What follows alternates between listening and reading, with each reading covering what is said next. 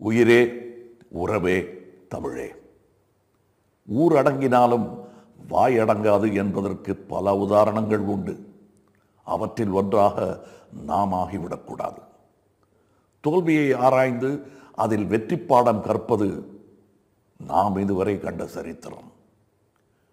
மக்களிடம் முக அறிமுகம் இல்லாதவர்களையும் சற்றே தெரிந்தவர்களையும் புது எழுச்சி அரசியலின் நட்சத்திரங்களாக மின்ன வைக்க நாம் நினைத்ததுதான் சிலருக்கு சர்வாதிகாரமாய் தெரிகிறது. திறமையின் அடிப்படையில் பெரும் பொறுப்புகளை கட்சியில் சேர்ந்த சில நாட்களிலேயே தந்து வளர வழி செய்தது அன்று அவர்களுக்கு ஜனநாயகத்தின் உச்சகட்டமாக தெரிந்திருக்கிறது. பிறகு காலச்சூழலில் கண்ணுக்கு ஏற்பட்ட மறதியில் அது அவர்களுக்கு தெரியாமல் போய்விட்டது. கூட்டணி வைத்துக் கொள்வதில் நான் காட்டிய வெளிப்படைத்தன்மையும் அதை தேர்ந்தெடுப்பதில் அவர்களுக்கு பொறுப்பு கொடுத்த ஜனநாயகமும் அனைவரும் அறிந்தவை. தோல்விக்கு பின் அவரவருக்கு இருக்கும் தார்மீக கடமையை ஏற்பது நல்ல ஜனநாயகவாதி செய்யும் செயல்.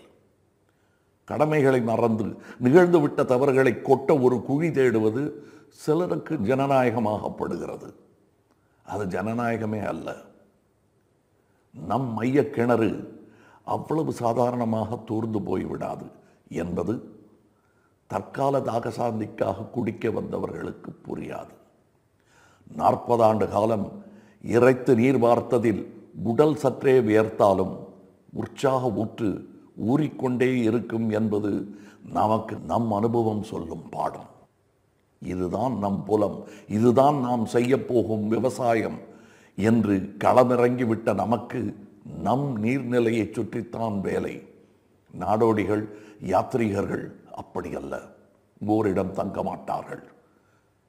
வணிகர்களாக அவர்கள் இருக்கும் பட்சத்தில் வியாபாரம் உள்ளவரை தங்குவார்கள். பிறகு அவர்கள் வெளியேறி விடுவார்கள். சில நேரம் திரும்பவும் சென்ற வழியே வருவார்கள். இந்த ஊற்று அன்றும் சுரந்து கொண்டிருக்கும். ஆனால் மீண்டும் ஊரணியை நம் நீர்நிலையை அவர்கள் அசுத்தப்படுத்த விடமாட்டோம் எனும் உறுதியுடன் நாம் நம் பணியை நேர்மையாக தொடர வேண்டும். அதுவே நாம் தரும் செய்தியாக உலக அறிய வேண்டும்.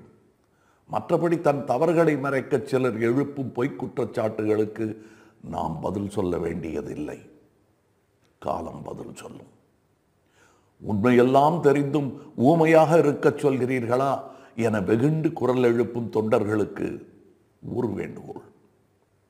உயிரே உண்மை பேசு உறவே வாதாடு. என் அருமை தமிழே போதும் அதற்கு.